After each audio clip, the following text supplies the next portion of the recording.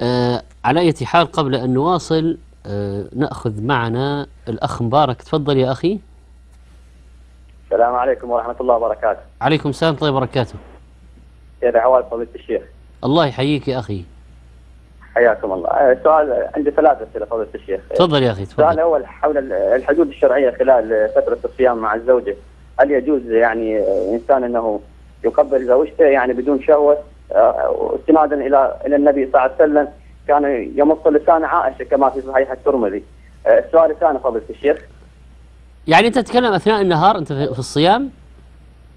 نعم. أنت تتكلم على النهار نهار الصيام؟ نعم نعم. هل يجوز إنه لأن الإنسان نهار الصيام- كما نهار الصيام. النبي وكان يمص لسان عائشة؟ يا مبارك يا مبارك.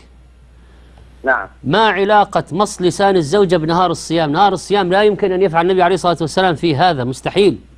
لا يمكن. ولكنه آه، صحيح سنن الترمذي يقول كان يمصها وهو صائم. كان يمص لسان عائشة وهو صائم. طيب ما أكمل أكمل. آه، السؤال الثاني. تسمع الجواب إن شاء الله. نعم. آه، مشكلة إدخال الأشياء على بعض هذه مصيبة على أي حال؟ هذا إبراهيم أبو النبي صلى الله عليه وسلم. فإذا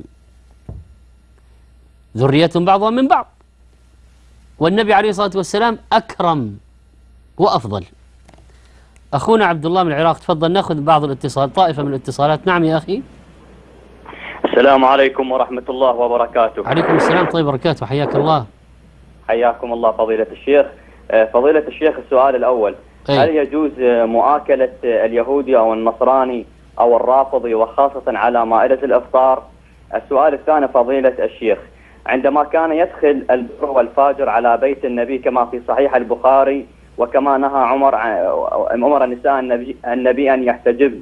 هل هذا صحيح وهل النبي كان يؤكلهم السؤال الثالث هل كان معاوية يأكل ولا يشبع وكان يأكل بسبعة بطون؟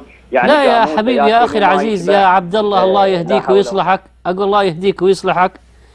بعض بعض المتصلين يريدون استغلال الفرصة للطعن في الصح. يوجه لك يحط السم في السؤال. أسأل الله أن يهديك. والله نحب الهداية لأهل البدعة ونحب الهداية لكل مشرك ونحب الهداية لكل طاعن في الصحابة. نسأل الله أن يهديهم وأن يصلحهم. فلا يزالون لا يزالون يدسون السم في الأسئلة ولا يزالون يريدون الطعون في الصحابة عبر الأسئلة ولا يزالون يتظاهرون بالسؤال في البرامج وهم يريدون الطعن في الدين والطعن في الصحابة. يعني وهذا من الأذية من الأذية أن تجد بعض هؤلاء يعني لابد يحاول يدس يعمل آه، مؤامرات. يعني لا سلمت برامج الدعوية ولا الأسئلة الشرعية. ما سلمت من هؤلاء ما سلمت من أذيتهم ما سلمت من مؤامراتهم ما سلمت من جهالاتهم. ما سلمت من بدعهم ما سلمت من ألفاظهم الشنيعة والسيئة. هذا الآن يا إخوان مثال واضح. رأيتم كيف أهل البدع يدخلون علينا في برامجنا؟ أهل الشرك يدخلون علينا في برامجنا؟ يريدون الدس والطعن. على طول في معاوية سبعة أمعاء سبعة إيش؟ السبعة في بطنك أنت. أما معاوية رضي الله عنه فهو صحابي وجليل. رضي الله عنه. وهو بشر يخطئ نعم بشر يخطئ. ما سوينا ملك.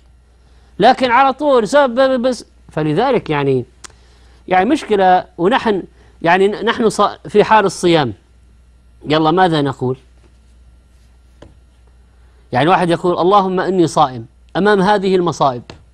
اللهم إني صائم أمام هؤلاء الذين يريدون الطعن ويريدون الوقيعة في رجال خير القرون يعني سبحان الله الذباب كيف يعني يأتي؟ هاك يعني ما لا ينشرون توحيدا ولا ينشرون علما ولا ينشرون سنة ولا يسألون سؤال مستفيد ولا سؤال حريص على الهداية ولا سؤال حريص على الحق على طول. إدخال الأشياء في بعض مص لسانه وهو صائم يعني يعني تبلغ السفاهة والسخافة والحماقة والجهالة. هذه المبالغ إلى هذه الدرجة؟ إلى هذا ونحن صائمون يريدون شتم صحابة نبينا؟ ونحن في رمضان يريدون الاعتداء على سنة نبينا صلى الله عليه وسلم؟ لكن أيها الإخوة والأخوات أبشركم أن مذهب هؤلاء مدحور وأن أمرهم إلى زوال وأنهم إلى هزيمة إن شاء الله. وإننا والله نستبشر في رمضان هذا بأن السنة غالبة وأن أهل السنة منصورون وأن دينهم هو الذي يسود. وهذه البدع والشركيات والوقيعة في الصحابة وهذه الترهات التي تساق يعني في لا برامجهم هذه برامجهم وقنواتهم. لا لابد يدخلوا في برامج غيرهم ولا بد يدسوا في برامج غيرهم ولا بد يعتدوا على برامج غيرهم يعني هذا الابتلاء. ولذلك يا إخوان نحن كيف نعرف الحق الذي نحن عليه؟ لما نرى الأوباش يتطاولون نحن كيف نعرف أن الحق الذي نحن عليه ونستمسك به؟ لما نرى العدوان عليه. لو كان الحق لو كان ما نحن عليه هزيلا لو كان ضعيفا لو كان مهلهلا باليا ما اهتموا به. الطاعنون يشنون الحملات أعداء الإسلام وأعداء التوحيد يشنون الحملات على إيش؟ على الحق الواضح الأبلج. ليه؟ يخافون منه أن ينتشر. يخافون أن يقوم. يخافون أن يغلب. يخافون أن يكتسح. ولذلك تجد مثل الذباب والحشرات أسئلتهم هكذا. على أي حال إن ربك لبالمرصاد الله حسيبهم وهو ينتقم منهم ويسلط جنده عليهم سبحانه وتعالى. وما الله بغافل عما يعمل هؤلاء الظالمون. طيب.